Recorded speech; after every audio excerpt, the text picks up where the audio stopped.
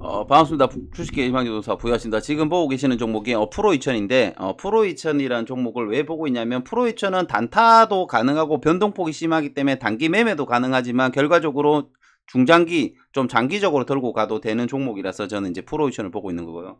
어, 프로 2000은 이제 어떤 의미에서 이거는 어, 추세가 다우에서 말하는 추세가 상승 추세거든요.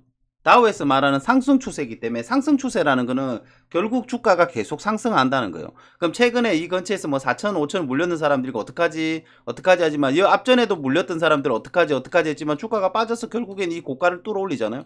그리고 여기서도 마찬가지 물렸는 사람 순간적으로 많이 급락했지만 결국엔 또 올라가고 여기 물렸던 사람도 결국엔 또 올라가고 이렇게 저점을 계속 높이면서 주가가 상승을 하고 있기 때문에 음, 좀 나는 좀 많이 먹겠어 하면은 좀 저점에서 하는 거고 아니야 나는 여기서 이 짧은 기간에 단기를 단타적으로 할 거다 생각하면 이제 좀 위에서 좀 잡는 거고 이런 식으로 이제 추세가 상승인 종목들은 어 계속 끊임없이 이제 천천히 계속 상승하기 때문에 어 그래서 이거는 뭐 좀 천천히 아 좀 단기도 가능하면서 좀 중장기도 들고 가고 너무 단타가 나는 이제 어 직장 생활하고 뭐 이러면서 나 순간순간 대응을 잘 못하겠다 그냥 좀 사놓고 뭐 그냥 좀 기다리면서 매매를 하고 싶다 이런 종목을 할 때는 이제 프로이천 같은 경우 다우에서 얘기하는 추세 추세가 상승하는 거. 그리고 지금 추세는 보통 강세 시장에서 어, 추세를 갖다가 상승 어, 매집 상승 과열로 돼 있는데 지금 같은 경우는 매집은 아니에요. 이거는 매집은 아니고 지금 상승 기간이기 때문에 아직까지 과열은 아니거든요.